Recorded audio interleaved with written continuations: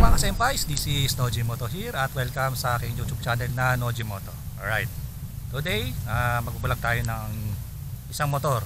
Uh, actually dito ako sa Morong, dito sa Morong Rizal. Alright, napakaganda rito ng ano rito. ang lugar na rito talagang fresh ang hangin, sarap tumambay habang nagkakape. Alright, okay. So to this video may isa tayong motor na simple lang din, parang nalalapit sa budget meal or ano lang, saktuhan lang in short. Hindi naman siya madiin. Ano lang, yung tamang ano lang, tamang pang stroll lang. Uh, malalaman natin sa owner niyan. Uh, siya nga pala, uh, yung owner nito, uh, medyo naiya. Pero nasa likod lang siya sa akin habang nag-ano tayo, nag-vlog tayo. Okay, so again, shoutout sa mga taga Morong, mga street bikes, mga shoutout din sa mga grupo rito, mga Thai Zone, mga iba pang mga grupo ng mga Thai dito sa Morong Rizal. Napakaganda rito ng ano rito. Yes. okay. So bago natin tignan tong motor na ito, ipasok muna natin ang pangit kong intro.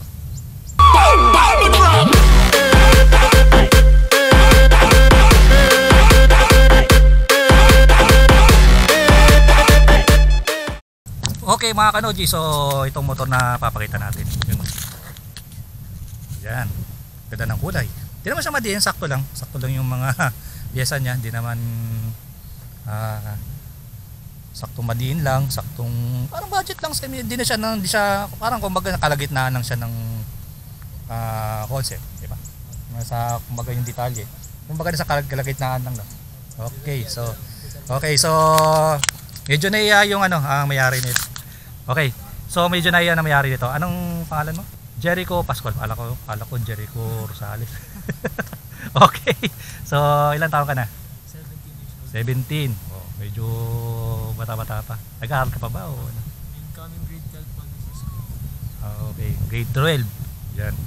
So, ilang matanong dito, matanong ko lang dito sa motor mo, ah, ilang taon na to sa'yo? Pa 5 years. Sa tatay, Five years? Sa tatay ko po talaga. Ah, sa father mo talaga tong ano na to. eh, sana po talaga parang, kumbaga parang ano, Hmm. sa kanya po yung pag-form. Okay, so yun. Ang nga pala, itong motor na to ay Honda Beat version 2. Yan. Nakapag-vlog na ako dati nito noong 2 years ago sa Maynila. Kung naalala nyo Honda Beat na ano, na from Tyzone. Yan. Ah, Tyson din po yan. Oo. So, Ty- Rizal. so yun, Tyzone pala to. Okay. Meron palang Tyzone represent Rizal. Yes. Yes. Kasi yun na-vlog ko dating na-vlog ko dating motor na ano, na Beat version 2 sa ano pa. Ah, version 2 din po. Oh, ganito rin, ganito rin. Yan, alala ko lang. Shoutout doon sa may-ari na 'yon. At ewan ko lang kung wala na akong balita doon sa ano na 'yun. eh. Sa owner na 'yon. Yan. Oh, okay. So shoutout doon sa Tyzone Manila. Yan. Okay. So, 'yun. Tingnan natin yung tindig kanya, kanyang tindig. Yan, tingnan natin yung kanyang tindig. 'Yun. Yan. Talagang street bike na street bike. Yan, mara actually marami na ako nakakitang mga itong mga itong SB na Honda Beat. Yan, marami-rami na rin. Paano ka napasok sa ganitong konsepto? Ano po, inspired po talaga sa ano. Ba- inspired. bata- bata pa lang Isa po lang naman, no? Or inspired. Bata pa lang po eh, ano, manilig na po talaga sa motor. Tapos ako. Ah, kotse. Po, kami, parehas po kami ng tatay. Hmm, so, ah magkasundo lang pala magkasundo Opo, kayo ng opo. hilig ng father mo. Unang motor po ng tatay ko is Wave 100. Wave 100. Ah, okay. Nagkaroon pala kayo dati ng Wave 100. Okay. So, okay. Balita dito sa unit mo. So, yun. Nakita natin ang ganda ng kulay. Maganda yung ano niya, tindig. Tsaka silipin natin yung mga bawat detalye niya. Oh. Yung pong Showa Advantage na siya. Oh, so advantage. Yan. Ano lang po yan? Convert lang po. Ah, convert. Opo, Yan, ano po yan? Pang wave po talaga yan. Inakuha ko lang po ng second hand. Ah, As you can see po, baliktad po yung pinaka-adjuster ng ano? Ah, di ganyan ng ano? Yung pwestuhan niya. Ang pinaka-pwesto po niyan, yung adjuster po niya nasa kanan po dapat. Ah, kanan talaga to. To, tong adjust, adjuster niya dito dapat sa loob. Ah, okay. Dito po dapat sa Hmm. Yun yung tunay na mga shop. Kaya po budget mo lang po talaga. Oh, okay lang budget meal, wag lang ano. Siyempre, ah sumusunod tayo sa kultura ng street bike. Wala wala yung ano na yan, wala na yung mga mahal, medyo expensive na ano, wala yan. Eh tayo ay sa ano lang tayo sa para sa kultura lang. Para sa passion kumbaga. Yes. Yan, okay. So, kung napapansin ko, Ah, naka-carbon na yung ano mo. Yan, kung napapansin nyo, carbon yung ano nyo. Carbon, forge na may, Forge carbon, na may red flakes. Carbon na ano no, red, ah, red flakes. po. Yan. Uso na to, to ah, uso na to actually, mga ganito ang forge carbon. Oh, sige, sige. Tropa ko lang po yung nag-carbon. Okay, sa sino bang ano? Ah, Ah, shoutout po kay Wyro Cruz. Sa Pyro Cruz. Yan, shoutout kay Pyro Cruz sa kanya magandang tiradang carbon. Yes. Na Ano po, forge follow, carbon. follow niyo po siya sa page. 888 Casmot Carbon. Casmot Carbon. Okay, so kanyang page, ah, check nyo kanyang page sa mga gusto magpa-carbon. Dito lang din, oh. Sa, Teresa lang po. Halos katabing bayan lang po. Ah, sa Teresa lang. Okay, sa Teresa lang pala. Okay, check nyo kanyang Facebook page para sa mga gusto magpa-carbon ng katulad nito. Yan, oh. Yan, oh. Sabi, oh. Pati di sa rear fender na lighten. Kaya walang lusot ng pagkakarbon. Yan, okay. So, ang kanya, ah, dito sa seat niya, medyo kasi kanina maulan. Kaya tinakpan muna. Ang kanyang ano, upper speed. Upper speed. Ah, upper speed X racewear. Yan. Yan yung kanyang flat seat. Okay, dito tayo sa kabila. Yan. Speed. Yan yung jack speed. Yan. Shoutout kay Jack Speed. Yan, shoutout kay Jack Speed. Sabi daw ni Sir, ah, shoutout kay Jack Speed. Yan. Medyo Oo. luma na po. Dalas- Okay, sa mga nagtatanong kung, ang, kung ano yung pwestuhan ng kanyang elbow, yan. Para kuha kayo ng idea. Sa mga user na Honda Beat version 2 na modern street bike. Yan. Pagpasensya nyo na to medyo ma- marumi kasi ah medyo maulan kanina. Ah, okay lang yan, goods lang yan. Tsaka kung napapansin nyo na nilagay, kung ano, nilagay nyo ng ram air. Yan, ram air. Carbon din.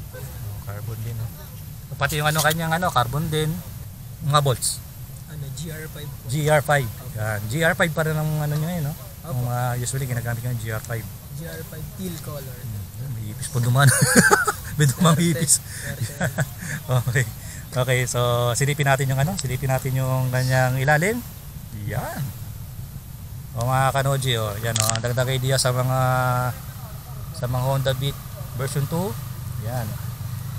Ito naka-gas tank siya. Yan, kung napapansin, naka-gas tank, light and gas tank. Yan. Ah, sino to birada nito o binili mo lang? Ano po, binili ko po. Ah, binili po, mo? actually, para po talaga siyang ano, alam niyo, parang para sa'yo talaga. Kasi biglaan po na may show na parating. Ah, okay. Nag-canvas po ako. Then Hmm. meron po dun sa isang shop sa may Pililla. Hmm. Saktong dating lang din po talaga Ah, okay. gas tank dito. So, Hmm. kinuha po kami. So, bukod na sa gas tank na, ah, alloy gas tank na, pati yung ano niya, ah, alloy yung gas tank? U-box, U-box tsaka gas tank.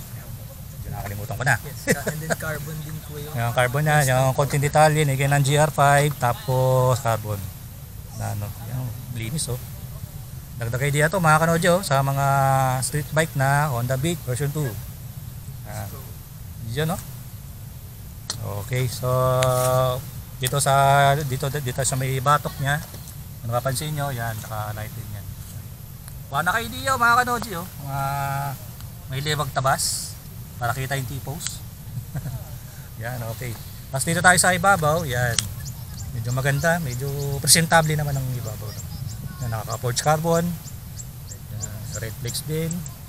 Tapos, yun, dito tayo sa braking system. Sa brake lever niya, gumamit siya ng Brembo. Transformer and then Zeta lever po. oh, Brembo transformer. Yan. Zeta lever po yung pinakaman lever. niya. Okay, yung lever niya, no? Hindi makita. Yun. And then So, nakastop yung tapos yung lever niya ay. Zeta. Ah, nakastop- babali ginawa mo dito, Brembo X Zeta. Yes po. Sali, GR5. Yan, may GR5. Zeta, uh, stop lead leader po ang tawagin. Static leader. Ah, yun pala ang tawag nila doon. Okay. Kasi kung napapansin nyo, kasi pag mga transformer, kung napapansin nyo, laki ng ano eh. Ang laki nung ano talaga. Ang laki nung ah, clearance nung between the handle grip dito sa brake lever. Kaya ganyan yung transformer. Tapos dito naman ay Same lang din po. Ah, Same, Koken. Ano, Koken po and then Ah, Zeta lever naman. ah, Zeta lever, tapos Koken. Ah, in short, Koken X Zeta. tapos sa konti detalye na GR5. Yan. Tapos ang handle grip mo ay GRP. Yan, Yes. Shoutout kay Boss Renz. Okay. So sa bolts nito, sir, ah, ilang porsyento na sa ah, sa GR5? Ano po? okay na po yung ano, bali siguro po masasabi kong 80%. 80%. Pwede na. Pwede, pwede. kasi yung engine bolts ko. Mm, pwede na yung ano niyan. Pwede na sa 80%. Yan. Okay, so balik tayo sa wheels. Ang ginamit niya dito ay SDR. Yan. SDR Super Drag Rim. Ang pambansang rim ng street bike. Yan, okay. So, anong gamit mo ano rito? Ano ito? 1. 1.4? 1.2? Ano po, rare size po siya eh. A rare size. Oh, so, ibig sabihin mga 1.4? Oh, ganun. 1.4 siguro to actually. Talaga. Mga 1.2. Natin may nakasulat dito eh. Ah. Oh, tama. 1.4. 1.4. Yan. Yan yung pambansang SDR. Mga pang street bike. GR5 rare bolts. Hmm. Yan. Tapos may GR5 dun. Okay. So, ayun.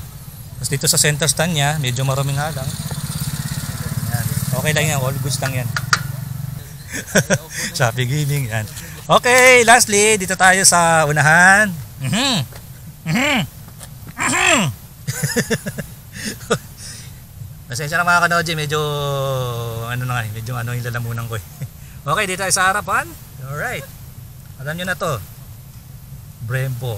Ano ba to? Yung nickel. Brembo nickel. Yan, Tapos may QR. Sweet. Brembo QR po tapos sweet post. Sweet hose. QR. Yan o. Brembo quick release and then sweet post. Tapos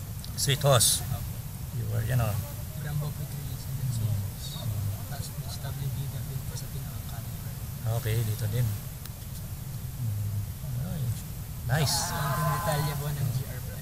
Okay. yan As you can see po, pati yung adapter naka GR5. Oh, pati adapter niya, di na pinalagpas eh. Dinagyan din dito.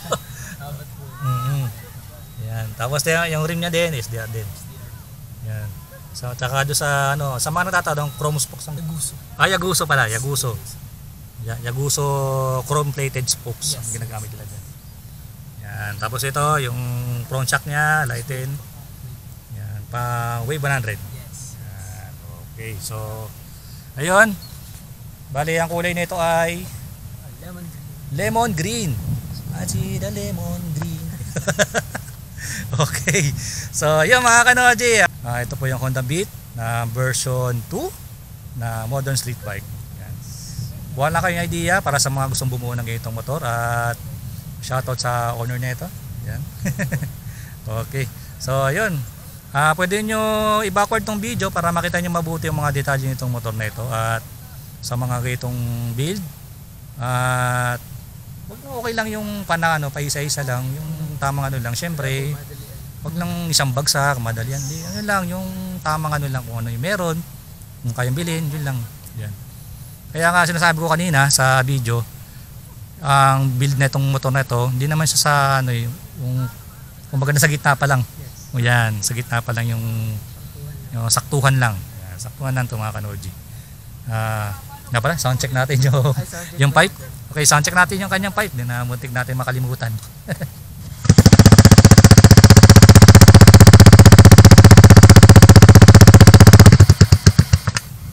yan. Yan. Ang tunog ng kanyang pipe. Yan. Ito ang GAC speed. Yan. Shoutout sa Jack speed. Yan. Okay. So, anong may papayo mo sa mga gustong bumuo ng ganitong build? Ano, ah, simple at tiyagaan niyo po para sa gusto. Ano pa? Tapos, um, appreciate what you have. Hindi po, la, hindi po lahat is mananatiling ganun yung ano. Hmm, okay, okay. So, yun. Yun yung payo ng owner na to. Alright. Okay mga kanoji, so dito natin puputuli ng video na to tungkol dito sa tong street bike na to, tong Honda Beat version 2. Alright. Shoutout sa mga owner na ito. Yan. Itong video na to ay para sa inyo. Okay mga kanoji, so hanggang dito aking video. Maraming maraming salamat sa inyong panonood. Stay tuned na po sa mga susunod kong mga ipa-vlog. Nakikita niyo yun? May isa pang may mga motor pa dito na ipapakita natin. Alright. Okay, once again, shoutout sa mga taga Morog Rizal. Yan, mga taga Morog Rizal, makingay. okay. Okay mga kanoji, so maraming maraming salamat sa inyong panonood. Ingat parati sa labas, manalangin bago malis. And God bless. Ipasok ang montage ng motor na ito.